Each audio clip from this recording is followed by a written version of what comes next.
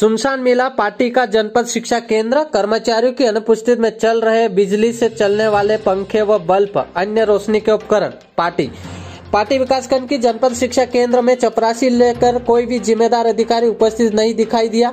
लगभग एक घंटे तक वहाँ पर कोई भी जिम्मेदार अधिकारी उपस्थित नहीं हुआ। जनपद शिक्षा केंद्र कार्यालय में पंखे, ट्यूबलाइट व अन्य रोशनी के बिजली से चलने वाले उपकरण चल रहे।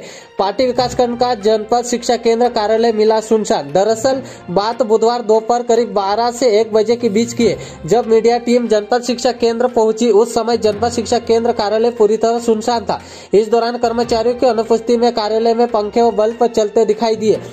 इस संबंध में जब बीआरसी प्रफुल्ल पुरोहित से मोबाइल पर संपर्क किया तो उनके द्वारा बताया गया कि मैं डोंगर डोंगरगांव तरफ़ आया हूँ। ग्राम संपर्क अभियान में लगे हुए हैं। ग्राम संपर्क अभियान में 31 जुलाई डेट लाइन है। ऑनलाइन कार्य में लगे हुए हमारे कार्यालय में एक चौकीदार है, चपरासी नहीं है, बालिका छात्रावास का चौकीदार है। वह कहीं खाना खाने गया होगा। हमारे यहाँ प्यून की व्यवस्था नहीं है? बात बताएगा। उनकी बात से गैर जिम्मेदार जवाब देते हुए बताया कि रात में चौकीदार की ड्यूटी होती है, दिन में चपरासी नहीं होना बताए। हम बता दें कि सुनसान कार्यालय में किसी भी प्रकार से शासकीय संपत्ति को नुकसान हो सकता चोरी की वारदात भी हो सकती या मानो भवन सुनसान छोड़ बहुमूल्य दस्तावेजों से छेड़छाड़ हो सकती कर्मचारी किसी घटना का रास्ता देख रहे हो साथ ही बिजली का दुरुपयोग करते हुए कार्यालय के कमरों में ट्यूबलाइट व पंखे चालू छोड़कर चले गए। इस दौरान शासकीय संपत्ति का अनावश्यक रूप से व्यय होना पाया गया है।